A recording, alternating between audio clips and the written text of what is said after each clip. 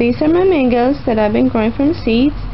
Uh, the ones at the front and on the side, they're about almost four months old. And that one in the green pot is a year old.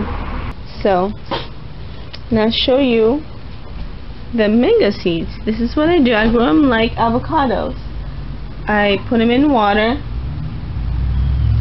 and um, I just wait for the shoots, I mean the shoots, sorry, the, the roots to sprout and after the roots come out and the the tree will grow. Look at that. See, look at this one right here. Just be gentle. See, the other half already came off because I was messing with it. So, but it's still healthy. Very healthy. Look at that. So this one is ready to be put in the soil. Little pot in the soil. And after I transplant that, on one of these pots, it will grow fast. They do. For some reason, like as soon as they touch sand, it'll just really grow fast. So it's good to start them like this. And other people said just put them on the ground and bury it and wait for it to come out. But you don't really know if it's ever going to come out. And you're always wondering if it's a dud seed or what. But um, this is, to me, you know, a way I make sure that the seed is good.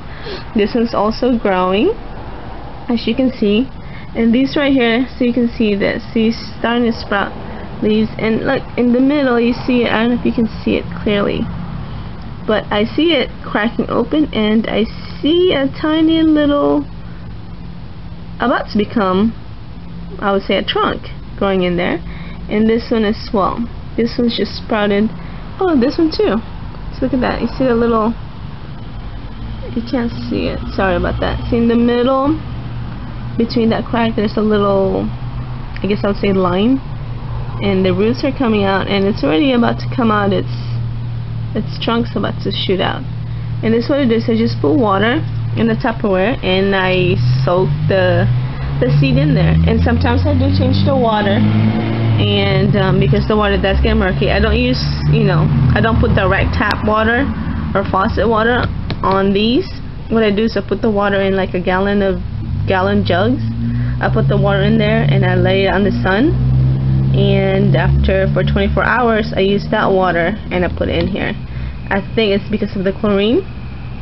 So you know, it's it's good. It'll help it grow fast without the chlorine water. So that's what I do. People put it in the fridge. They wrap it up in towels and or napkins. They put in Ziploc and put in the the fridge or something. But this is my method. There's I'm sure many ways you can grow mangoes but to me this has been a success as you can see.